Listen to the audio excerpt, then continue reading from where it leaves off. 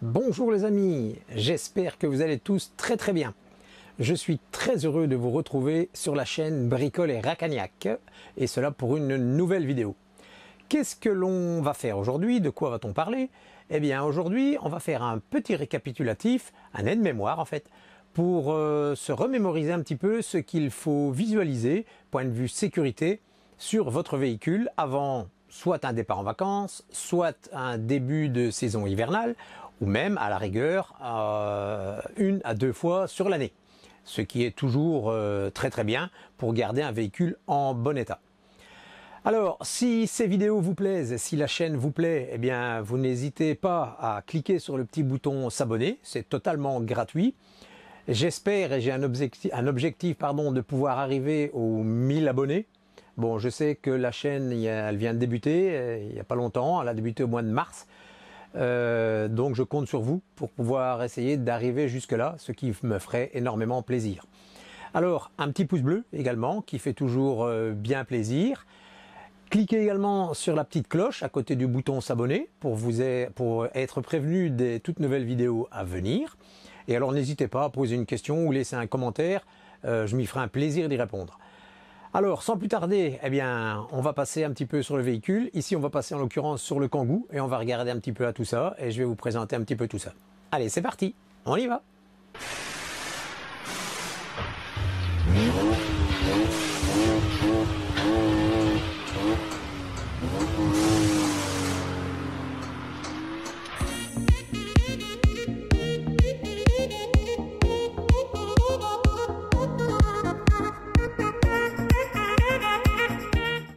Voilà les amis, donc on se retrouve sur le Kangoo. Donc, euh, comme je vous ai dit, donc on ouvre le capot. Alors, quels sont les organes à vérifier? Alors, il y en aura plusieurs. En l'occurrence ici, vous avez le liquide du bocal de refroidissement moteur. Donc ça, il faudra vérifier le niveau. Ici, vous avez le bocal du niveau du liquide de direction assistée. Bon, euh, tous les bocaux ne sont pas toujours à la même place, bien sûr, dans les différents euh, véhicules, mais vous allez les retrouver euh, un petit peu partout, avec toujours plus ou moins les mêmes écritures dessus.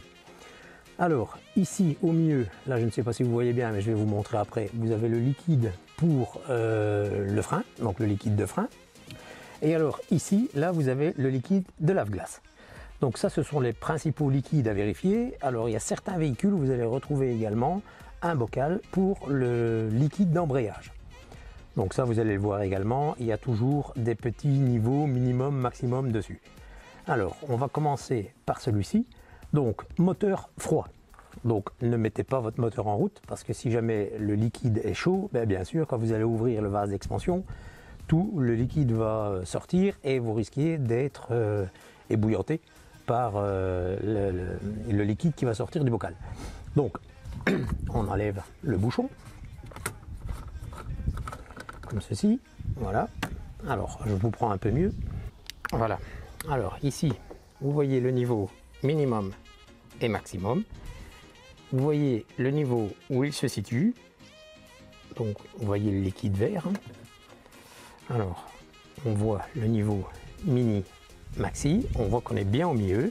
Donc là, il n'y a pas de problème. Le liquide de refroidissement est bon. Donc là, on peut repasser au suivant. Maintenant, ce que vous pouvez faire également, c'est mettre votre moteur en route, attendre que le ventilateur de refroidissement, donc le ventilateur de refroidissement moteur, c'est le gros ventilateur qui se situe derrière votre radiateur. Donc vous attendez que ce radiateur-là se mette, se mette en route, mettez pas les, mains dessus bien sûr, et alors après, là, vous éteignez votre moteur, vous attendez 10 euh, bonnes minutes, je vais dire, et après, vous venez revérifier si vous avez toujours le bon niveau, donc le bon niveau de liquide euh, dans votre vase. Bon, ce qui normalement devrait être le cas, parce que bon, je suppose que si vous roulez avec votre véhicule, eh bien automatiquement, il n'y a pas de problème, euh, le, mélange se fait, donc la circulation se fait. Voilà, allez, on passe à la suite. Donc ça, c'est OK. Toujours bien regarder pour bien refermer votre bouchon. Voilà. Alors, maintenant, on va passer ici kits de direction assistée.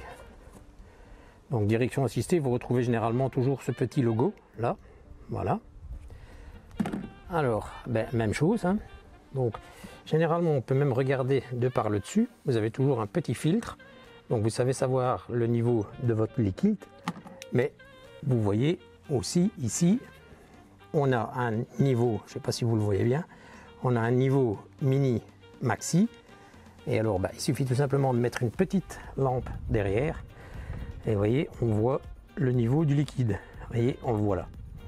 Le liquide est rouge. Généralement, c'est toujours du liquide rouge qu'on retrouve dans la direction assistée. C'est de l'huile bien spéciale, hein, qui sent même un petit peu. Voilà, donc ici, il est bon. Il se retrouve entre le minimum et le maximum. Donc, notre liquide pour la direction assistée, c'est OK. Voilà, normalement on se fait retirer ceci pour jeter un petit coup d'œil. Voilà, vous voyez que vous avez un petit filtre. Voilà, et on peut jeter un coup d'œil à l'intérieur et on voit qu'il y a du liquide sans problème. Voilà. Donc là, c'est OK. On peut refermer notre bidon.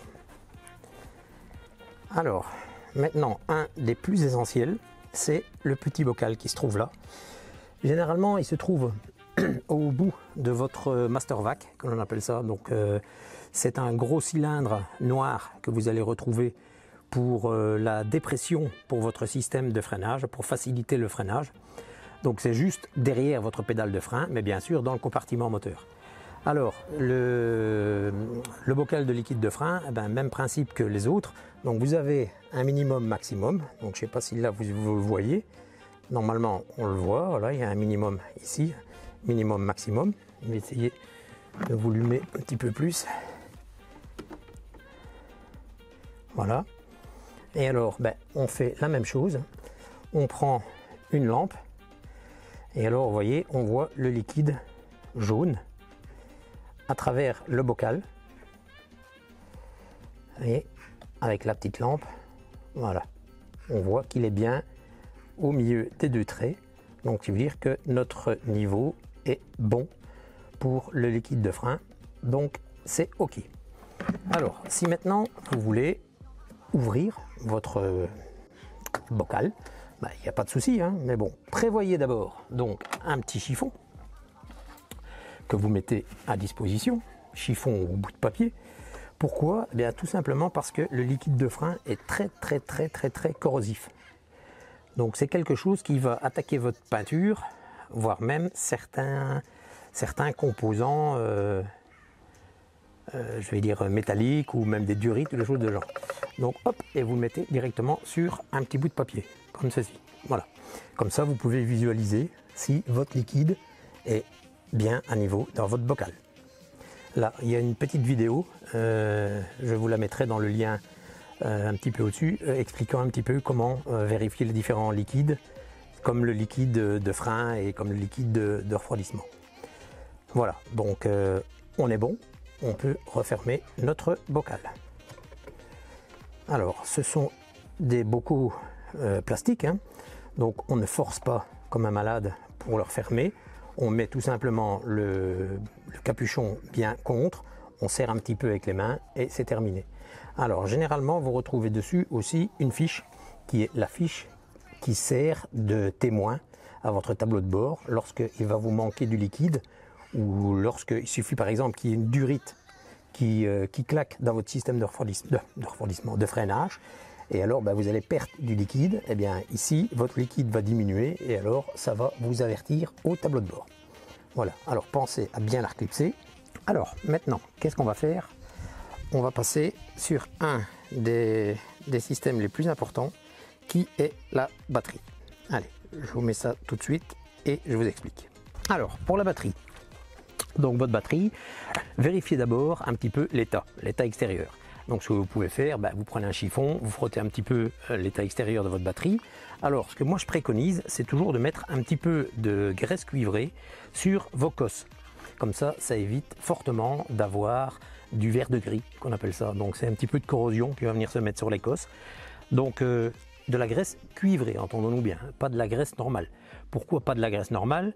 Bien, vous pouvez éventuellement mettre un peu de graisse normale sur le dessus des cosses quand votre cosse est déjà sertie, mais ne mettez pas de graisse normale sur la cosse avant de remettre euh, celle-ci en serrage. Pourquoi? Ben Parce que ça fait une partie d'isolant. Voilà, tandis que la grosse cuivrée, euh, la graisse cuivrée, pardon, est une graisse conductrice. Donc là, il n'y a pas de problème. Il existe même des graisses bien spécifiques pour les cosses de batterie. Bon, je ne sais pas s'il y a grande différence avec de la graisse cuivrée, mais en tout cas, ça existe. Voilà. Donc, mettez un petit peu de graisse cuivrée de part et d'autre sur vos deux, euh, vos deux cosses et ça empêchera euh, beaucoup de problèmes de démarrage. Alors, qu'est-ce que je vous conseille? Ben, Moi, j'ai ici un petit appareil un petit appareil comme ceci, hein, qu'on trouve un petit peu partout. Euh, d'ailleurs, je vous mettrai le lien aussi euh, sur Amazon. Donc, euh, qu'est-ce que ça dit? Eh bien, ça dit tout simplement, si le témoin est vert ici, c'est que votre batterie est OK. Ça vous donne les trois témoins du niveau de charge de votre batterie. Et ceci, les deux derniers ici, good et fault, ce sont les témoins de charge de votre alternateur. Donc, on va faire un essai d'abord en branchant la batterie directement sur le, sur le testeur, voir un petit peu qu'est-ce qu'elle nous dit. Et après, nous allons mettre en route le véhicule et voir un petit peu le niveau de charge pour voir si l'alternateur fonctionne bien. Alors, ici vous retrouvez deux cosses, une positive et une négative. Hein. Donc, eh bien, on met la noire, bien sûr, sur la partie négative. Si vous n'avez pas accès au négatif directement, vous pouvez le mettre sur la carrosserie, puisque c'est la même chose, c'est négatif. Et la partie positive, eh bien, on va la mettre sur la cosse positive. Alors, qu'est-ce qu'on voit? Eh bien, on voit ici que notre, batterie, pardon, elle est bien OK et qu'elle est en full, donc ce qui veut dire qu'elle est chargée au maximum. Donc là, il n'y a pas de problème pour notre batterie. Bon, c'est une nouvelle, vous me direz, celle-ci est du deuxième mois 2020. Donc voilà. Maintenant, qu'est-ce qu'on va faire? On va venir mettre en route le moteur et on va venir vérifier un petit peu le niveau de notre alternateur. Allez, je mets en route.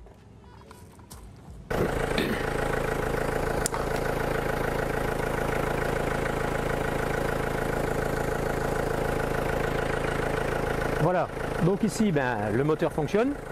Donc là je suppose que vous l'entendez. Hein. Alors, qu'est-ce qu'il nous dit? Eh bien il nous dit que c'est toujours OK. Donc il nous donne toujours l'état de charge de notre batterie. Et en plus ici vous voyez vous avez un témoin vert et ceci c'est pour le statut de l'alternateur qui nous dit qu'il est bon, donc good, donc ce qui veut dire qu'il charge au-dessus de 13 volts, 13 volts 5 qui est euh, la tension nominale pour une recharge de batterie. Donc ici on est sûr et certain qu'on peut partir tranquille que notre batterie est tout à fait correcte. Voilà, on passe à la suite. On va vérifier le niveau d'huile. Pour ça, du fait que j'ai mis le moteur en route, eh bien, je vais attendre 5 petites minutes que l'huile redescende complètement dans le bas moteur et après on va passer euh, à la jauge. Allez, c'est parti. Voilà, donc ici on se retrouve pour la partie huile moteur.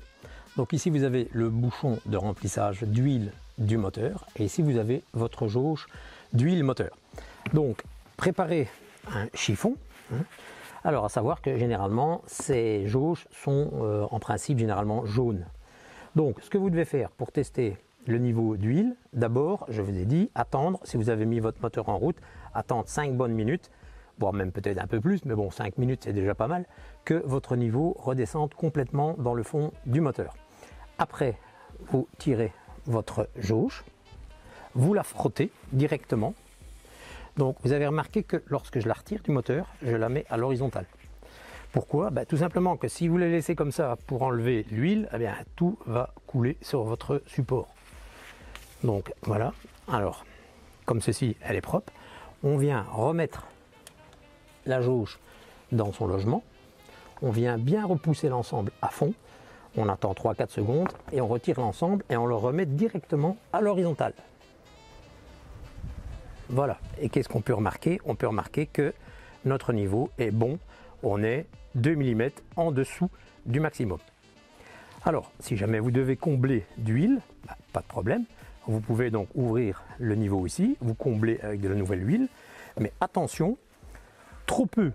Donc si vous êtes en dessous du minimum, c'est pas bon. Mais si vous êtes au-dessus du maximum, c'est pas bon non plus à savoir que si vous mettez trop d'huile dans un moteur, lorsqu'il va fonctionner, vous allez avoir une surpression dans votre bloc moteur et l'excédent d'huile peut ressortir par un, mauvais serrage d'un accessoire ou alors euh, un joint défectueux, voire même aussi par euh, certaines soupapes ou euh, par les, vannes GR ou quoi que ce soit qui est alimenté par l'huile. Donc trop d'huile, c'est pas bon non plus. Vaut mieux toujours avoir un léger niveau en dessous du maximum, ça c'est l'idéal. Voilà, et alors quand vous avez remis de l'huile, vous refaites tourner un peu votre moteur, vous attendez de nouveau 5 petites minutes et vous reprenez votre niveau. Parce que l'huile que vous venez de mettre, elle, elle est froide, donc elle est beaucoup plus euh, grasse, plus visqueuse, et elle va mettre plus longtemps de temps à descendre dans le fond de votre bloc. Donc il faut le temps qu'elle se mélange avec la nouvelle, qu'elle prenne la bonne température, voire la température ambiante, tout ça dépend de où vous l'aviez stocké. Et à ce moment-là, après, ben, là, vous pouvez reprendre votre niveau. Alors, euh, à éviter aussi, c'est lorsque vous avez fait votre niveau, que vous avez enlevé votre jauge, donc en l'occurrence, je vais vous montrer, donc comme ceci, voilà, eh bien évitez de remettre ça directement dans votre puits de jauge. Pourquoi? Ben, Parce que simplement vous allez mettre de l'huile partout dans votre puits de jauge, ici en hauteur, et si vous voulez reprendre votre niveau ben, juste après, ben, vous allez avoir de l'huile partout sur votre jauge. Donc vous allez avoir énormément de mal à savoir où est votre niveau. Tandis que si vous le frottez à chaque fois bien, euh, bien complètement, eh là vous n'avez pas de souci pour reprendre votre niveau. Voilà. Allez, on continue, on passe à la suite. Alors, qu'est-ce que je vous conseille? Moi, je vous conseille donc du liquide préparé, hein, du liquide préparé à moins 20, en l'occurrence ici. Euh, éventuellement, à l'été, vous pouvez compléter votre liquide avec de l'eau déminéralisée et du vinaigre. Bon, bien sûr, pas 2 litres de vinaigre pour euh, un litre d'eau. Donc, vous mettez euh, quelques, quelques centilitres de vinaigre pour un litre d'eau, on va dire. Et euh, comme ça, ça va enlever toutes les parties moustiques et tout que vous avez sur votre pare-brise. Mais je dis bien à l'été.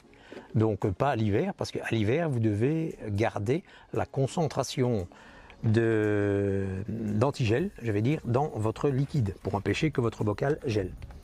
Donc ici, donc on va compléter. on complète notre niveau. Donc ici, moi, je le fais avec du liquide qui est déjà euh, préparé. Hein.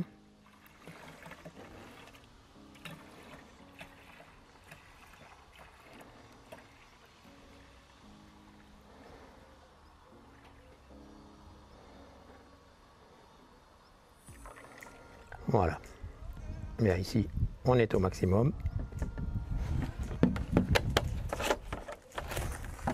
Voilà, je vous montre ça de suite. Voilà, donc ici on est au maximum, vous pouvez, là vous pouvez le voir. Donc voilà, donc notre niveau est bon. On passe à la suite. Alors, petite chose également que beaucoup de personnes oublient, c'est un petit peu l'état des balais d'essuie-glace. Alors, il y a certains balais d'essuie-glace qui ont une petite pastille. Ici sur le côté, une sorte de petit autocollant rond. Et beaucoup de personnes se demandent toujours à quoi ça sert. Eh bien en fait, quand vous l'achetez, cette pastille est d'une couleur euh, verte, on va prendre l'exemple vert.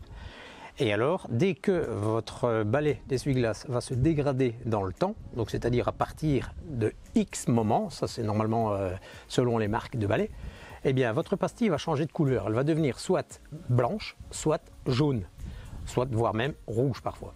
Donc ce qui veut dire que là, ben, le temps de fonctionnement de votre balai d'essuie-glace est épuisé. Donc il est grand temps de les remplacer. Maintenant, euh, moi personnellement, je ne me fie pas trop sur ces pastilles, je regarde plutôt l'état de mes balais. Donc, comment on fait? Ben, De toute façon, premièrement, vous pliez votre balai comme ceci, vous prenez un linge, vous essuyez délicatement le caoutchouc de votre balai, voilà, et après, vous venez avec vos doigts pincer comme ceci pour regarder si le caoutchouc de votre balai n'est pas déchiré à un endroit le long du balai. Donc vous voyez bien qu'ici en l'occurrence c'est pas le cas, donc il n'est pas déchiré du tout, il n'y a pas de coup dans le, dans le caoutchouc du balai. Et alors ce qu'il faut également regarder c'est la fonctionnalité de la petite euh, articulation ici qui permet lorsque vous venez la poser contre votre pare-brise de prendre la forme du pare-brise.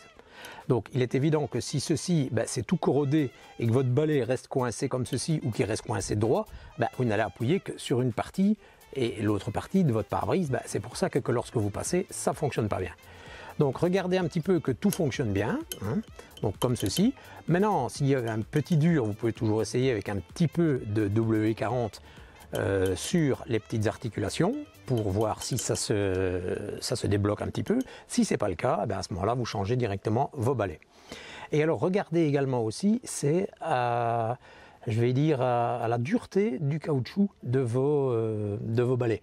Donc il ne faut pas que les caoutchoucs soient hyper durs, parce que sinon, ce qui voudrait dire que bien sûr, là, ben, ils, sont, ils sont foutus, puisqu'ils ils sont secs, voilà. Et donc il faut qu'il reste un petit peu, euh, mou, hein, que le caoutchouc soit un petit peu mou, pas trop non plus, parce que bon, en fait c'est comme une raclette, hein. en fait c'est ça le principe, c'est le principe d'une raclette. Donc euh, vous vérifiez que tout, soit bien uniforme, sur les deux balais bien sûr, voire même aussi sur le balai de votre vitre euh, arrière, si vous en possédez une. et alors à ce moment-là, ben, comme ça vous avez l'état de vos balais. Voilà. Donc euh, pour la partie avant du véhicule, bien sûr, à part les filtres à air ou quoi que ce soit, mais bon là c'est déjà un petit peu plus technique et ça nécessite du démontage, donc là on va pas le faire. Je vais vous montrer une dernière petite chose qu'il est bien aussi de vérifier de temps en temps. Bon, toutes les voitures ne savent pas le vérifier, je vous montre ça de suite.